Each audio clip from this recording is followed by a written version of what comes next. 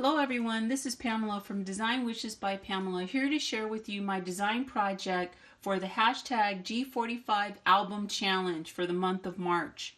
For this challenge, I used the Graphic 45 Baby to Bride collection. I used the deluxe uh, collector's edition that came with the chipboard elements and the 12 by 12 sticker sheet. Gorgeous paper, uh, beautiful colors, love the graphics, perfect for the project I envisioned.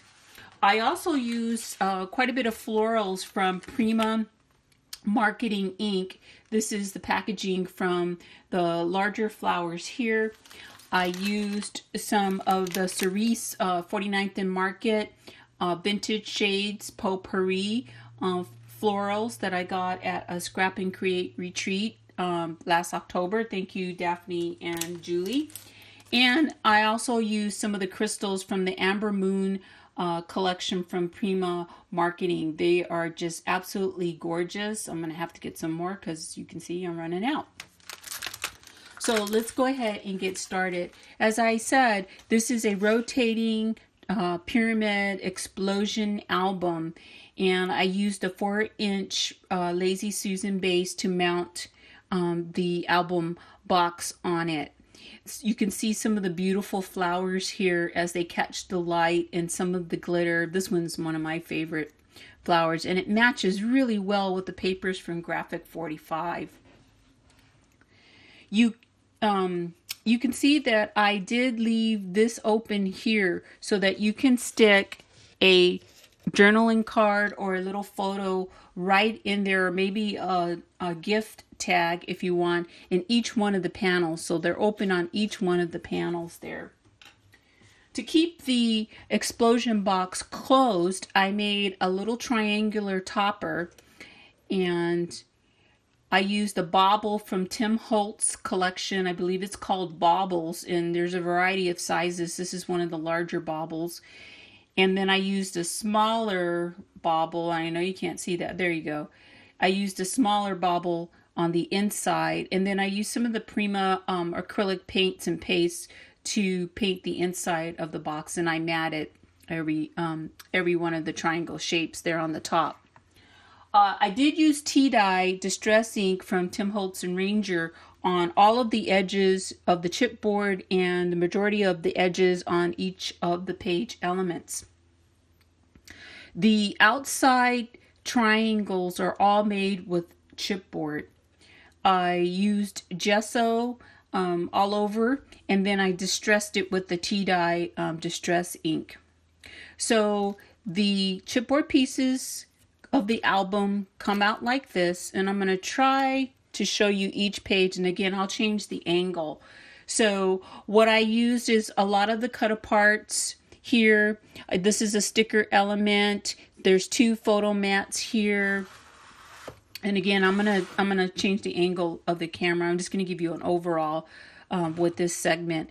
I added pockets to the inside triangles so that some of the cutouts, like this little beautiful little tag here, could fit inside. And I made this one a little photo mat there. And let me turn this one around. Here's another little photo mat here made out with one of the cut, cut aparts. And then I took a cut apart and made a booklet out of it. And then I used the stickers to put the word love on one of the inside um, covers of the little booklet and then some grosgrain ribbon. I had it untied to make it easy when I do the video. And then there's another one on this side as well and I did mat that um, too. And then I add some of the 49th and Market um, flowers at the top of each of those triangles. And then the inside of the second pages, I used a belly band on this one and made two tags. And oh, by the way, I used a Martha Stewart punch to do the corners of my my little tags here. I just love this punch. I've had it for such a long time and it's, it's just very delicate and, and pretty. So it, it lent to this design very well. on um, this arm of the album, I fussy cut some of the paper and I layered it so that a tag can go inside. And you can see how I distressed my cardstock there with the tea dye. On this side, I used the lady sticker and I mounted it on a two inch circle and then I used my scallop edge rosette stamp from Stampin' Up and I kept it open so that two tags can fit on the inside just like that and be held up. On the inside triangle, I used a sticker element here. I double matted it and then I popped it up on a foam square um, just for some dimension. On this side, I used one of the chipboard elements here. I made a little photo um, mat and the photo corners were all cut out uh, from a silhouette uh, cut file.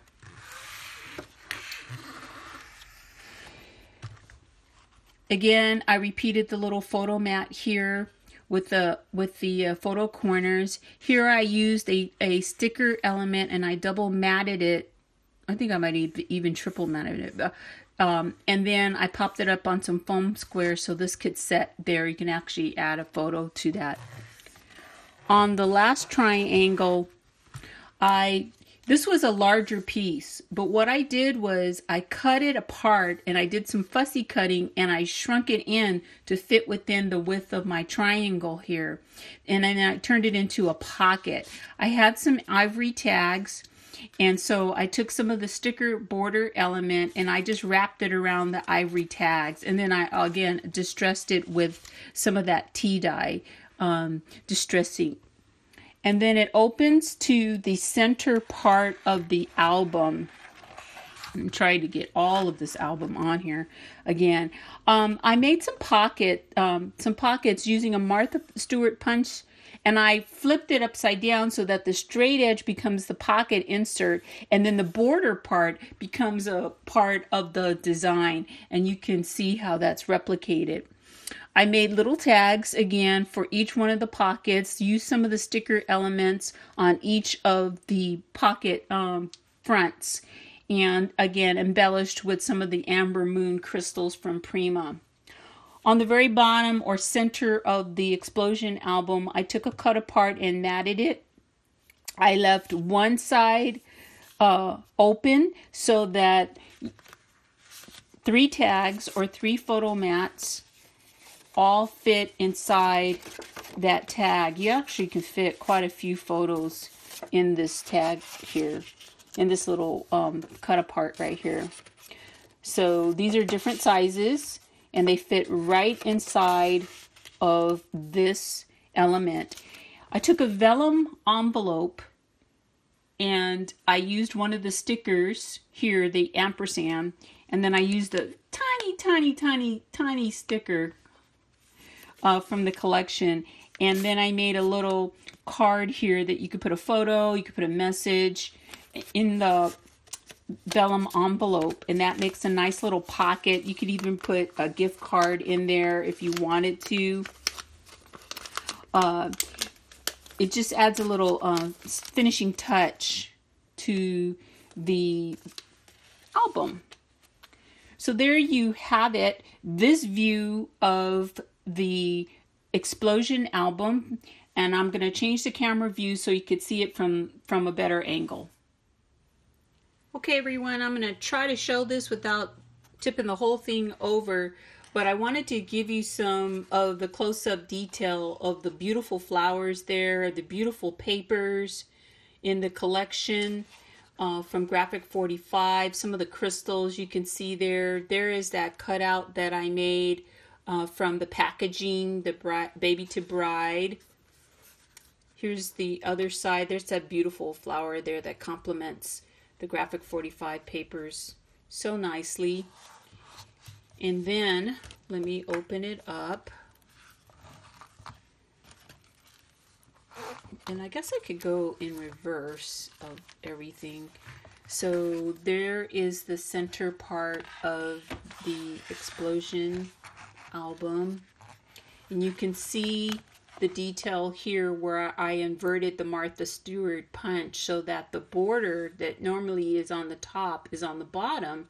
And then I left this open, the bottom edge, I flipped it so that it becomes a pocket for tags and photos.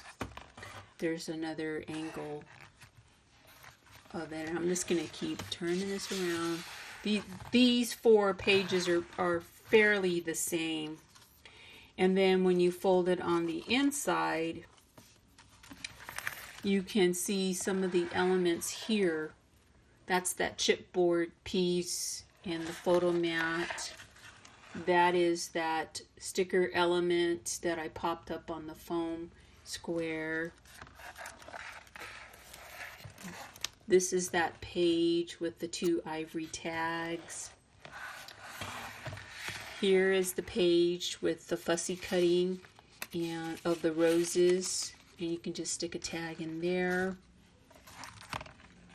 Here is the page with the belly band. There's plenty of enough room to add even more photos. Here is the page with the beautiful lady. She almost looks like a cameo. And then let me show you an angle of a pocket. Here is a pocket.